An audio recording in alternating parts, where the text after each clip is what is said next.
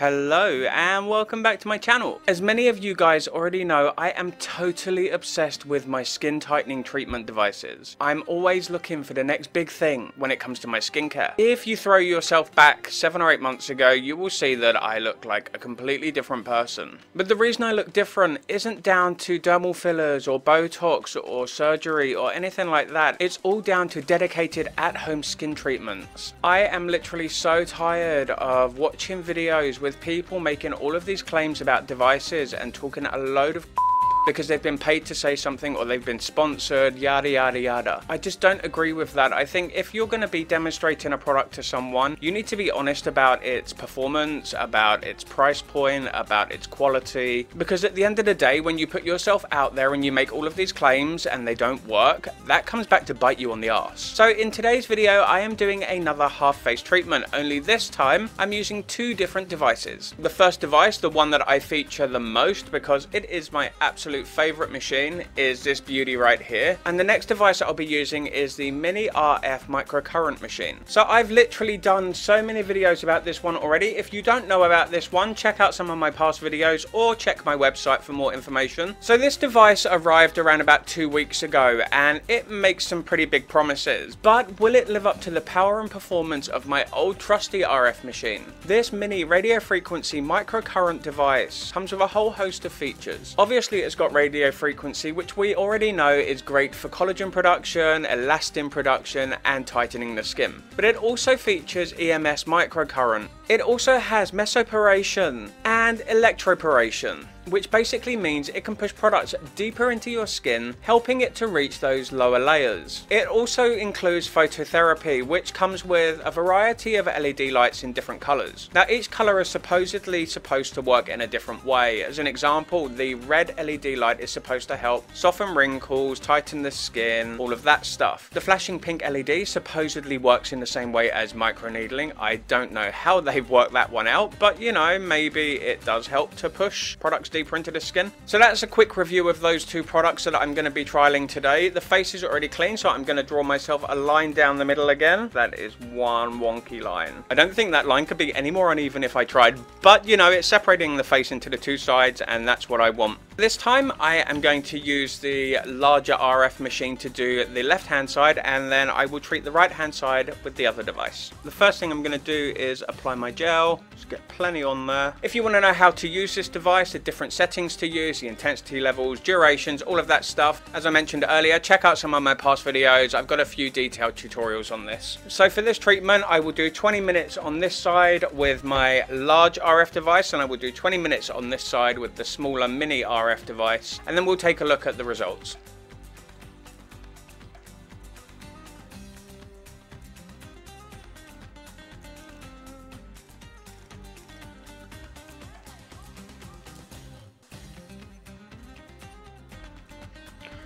Okay, the forehead is done on this side. Now it's time to do the eye area. So device contact, level 5 and on.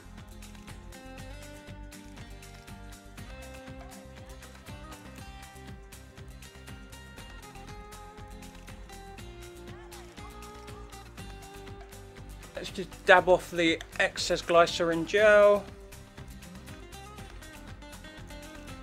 So, next up.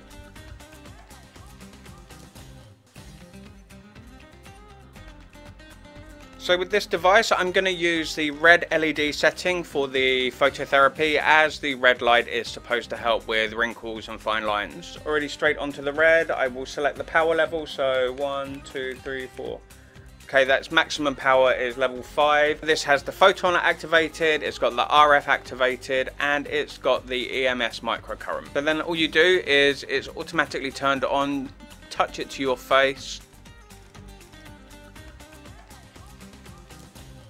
I really feel no heating whatsoever from the RF, like there's a very mild warming. All I can really feel is the tingling sensation from the microcurrent. Now with these devices, the idea is that you lift the skin. So with the smaller wand for the larger RF device, you want to use it in a circular motion, up and down, back and forth, because you're really trying to heat that skin up to the lower layers and make sure everything is even. With this one, what you're supposed to do is on the way up, you apply some pressure and lift as you go and then release your pressure and slowly glide it down. I can really feel that tingling around there. So the first issue that I'm facing with this device is that I really can't do the lower eyelid area properly because you have to have all four points of this in contact with the skin for it to work properly. And the thing is that as soon as you hit the cheekbone, one or two of them are lifting up and without applying huge amounts of pressure to keep all of them down, it's not going to work on the, the lower eyelid properly, although I can feel the microcurrent. Again, I have no idea how I'm going to do the upper eyelid, I guess like that. Okay, so that works. So you can glide so that there's a point of contact above the eyebrow and below the eyebrow. This is so difficult trying to do around the eye.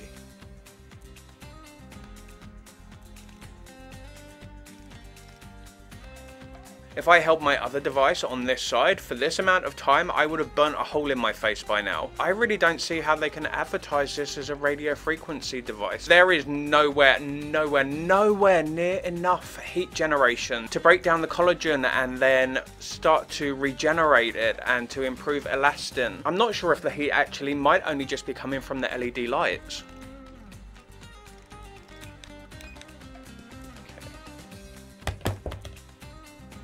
So looking at me now, seeing that I've treated both sides for an equal amount of time using radio frequency, just one is a mini radio frequency microcurrent, one is my dedicated radio frequency machine. Which side do you think has made the most difference? With the dedicated radio frequency machine, the eye is way more open, the lines have pretty much vanished. The texture of my skin is looking so much clearer when looking at this side. I would say that there's not too much of a difference. They look slightly softer. Would I notice it myself if I looked in the mirror tomorrow? Nah. So what I need to do is leave my skin around about 30 minutes to cool down and then we'll get a better idea of the actual results. Hey, I'm back. So it's been around about 40 minutes now. So let's do a close-up.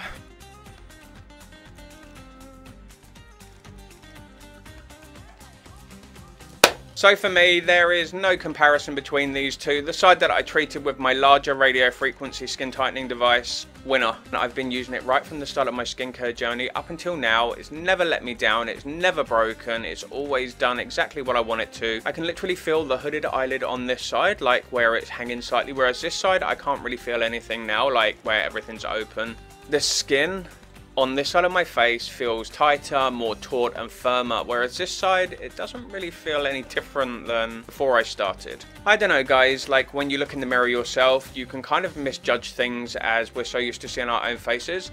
So I'm going to leave this up to you to decide which side do you think is better. Do you think my dedicated radio frequency machine has performed better or do you think the mini radio frequency microcurrent and phototherapy devices worked better? I'm going to leave the judging up to you. Let me know in the comments down below what you think. Maybe I'm biased towards this machine just because it's the one that I am so familiar with and am used to using. But I really don't think that that, that comes into the equation. Anyway guys, that is it for this video. If you've got any questions whatsoever, whether it's about my dedicated RF, whether it's about my smaller RF, whether it's about microneedling, products, anything like that that you want to ask me, drop it down in the comments below and you know, I'm going to get back to you. And if you've made it this far into the video, thank you. If you haven't already, hit subscribe and ring that notification bell so you get updated every time I upload a new video. And yeah guys, that's it. So until next time, see ya.